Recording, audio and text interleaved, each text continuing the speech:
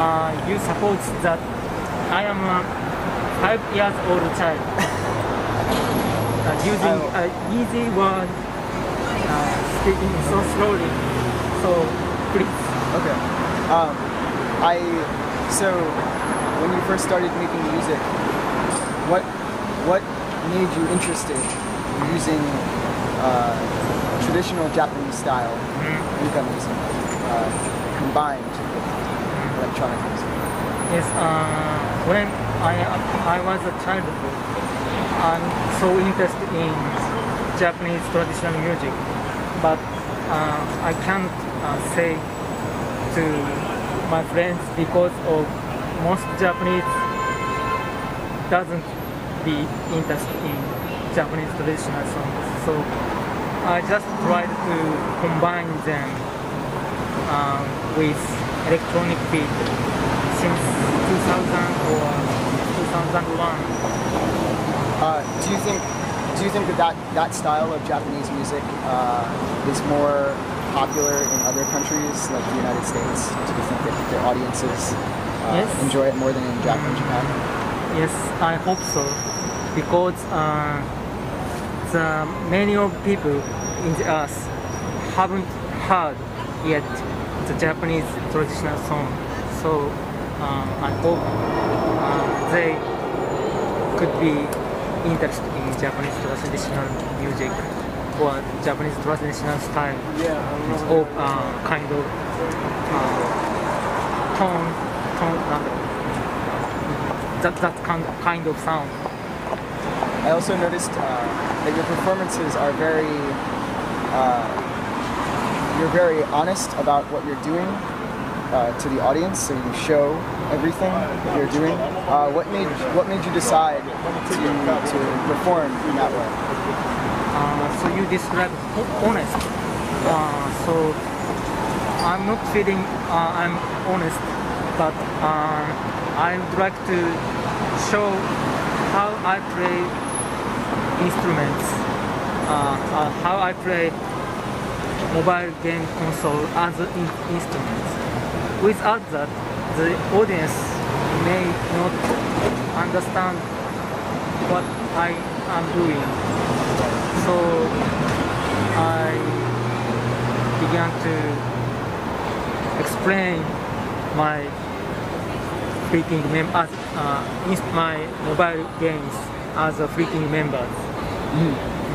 Uh, and also, uh, the, the visuals are al- also a very large part of your performance. Uh, what what made you decide to uh, sort of approach everything as a sort of a large audio-visual experience in total? At first, Omodaka began as a project that combines music and videos.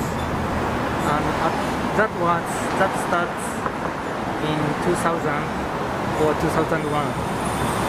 At first, I I asked to make a music video uh, to different directors uh, with my uh, song.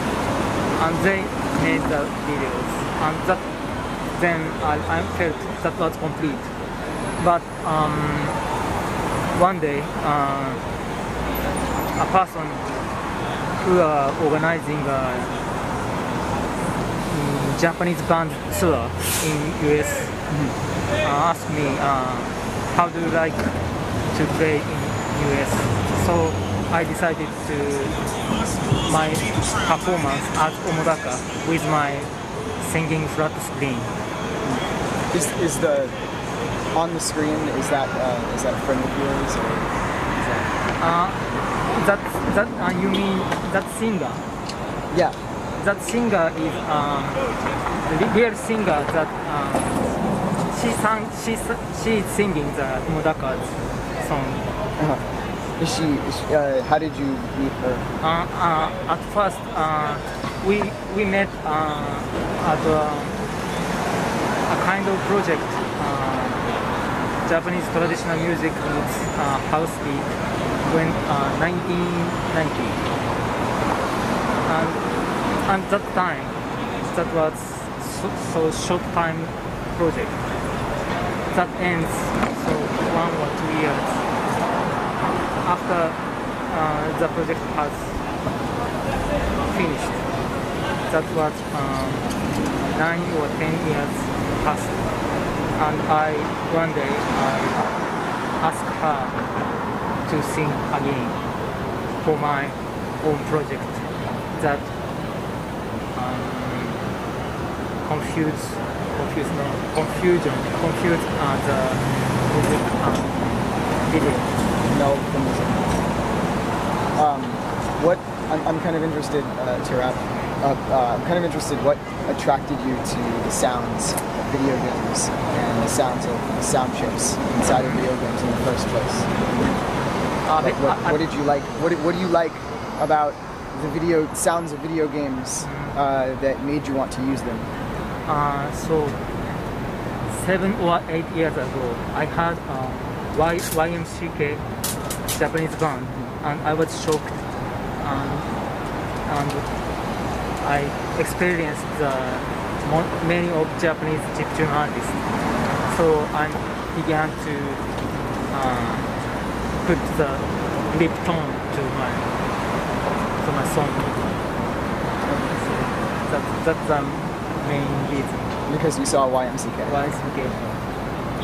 They're a good band. Oh, They're very yes. good. You're good. Too. Thank you. Thank you so much. us. Thanks, Josh. Thank you.